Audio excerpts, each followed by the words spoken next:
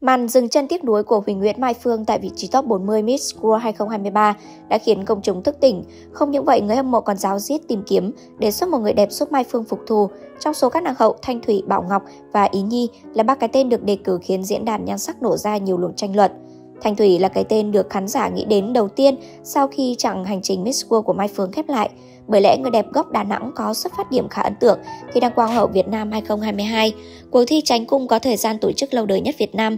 Trong những năm trước đó, nhiều người đẹp chiến thắng cuộc thi này cũng được trao cơ hội chinh chiến Miss World và đạt được những thành tích ấn tượng. Phải kể đến một số trường hợp như Mai Phương Thúy, Đỗ Mỹ Linh, Tiểu Vi, Đỗ Thị Hà. Không những vậy, Thanh Thủy còn sở hữu nhan sắc thanh tú nhẹ nhàng, tiềm cận với tiêu chí cuộc thi Miss World. Thời gian gần đây, nàng hậu ngày càng cho thấy sự hoàn thiện, thăng tiến vượt bậc về sắc vóc sau khi can thiệp dao kéo.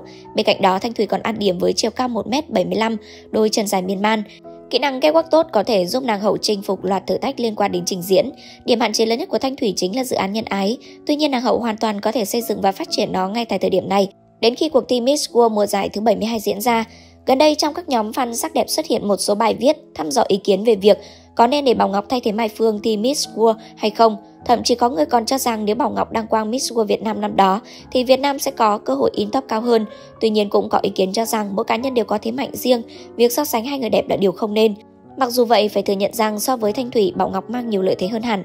Xuất thân từ cuộc thi Miss World Việt Nam 2022 với vị trí Á hậu 1, người đẹp Cần Thơ dường như đã hiểu quá rõ về tiêu chí mà một cuộc thi mẹ Miss World đang tìm kiếm. Bảo Ngọc còn có thời gian trải nghiệm tại Miss Intercontinental 2022 nên lại càng giành giỏi hơn về format của một cuộc thi nhan sắc quốc tế.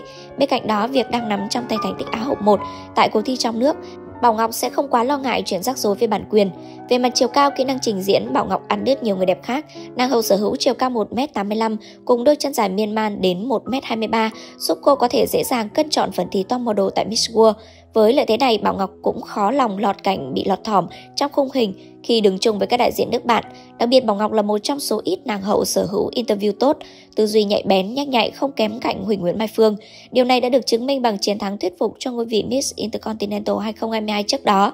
Nếu việc Bảo Ngọc đại diện Việt Nam chinh chiến tại Miss World mùa giải thứ 72 diễn ra, công chúng hoàn toàn có thể đặt niềm tin nàng hậu sẽ có khả năng đưa quê nhà tiến vào top show. Tương tự như Bảo Ngọc, Ý Nhi cũng xuất thân từng cuộc thi con Miss World Việt Nam 2023 và đăng quang ngôi vị cao nhất. Do đó, nàng hậu Bình Định sẽ không vướng phải trở ngại về bản quyền. Tiêu chí về cuộc thi Miss World cũng chẳng làm khó nổi Ý Nhi. Dù là tân binh mới xuất hiện tại đường đua nhan sắc, song Ý Nhi đã chứng minh bản lĩnh, không phải dạng vừa. Người đẹp cũng có chiều cao ấn tượng 1m75 cùng kỹ năng trình diễn ổn, được thể hiện qua các phần thi catwalk xoay quanh khuôn khổ cuộc thi Miss World Việt Nam 2023.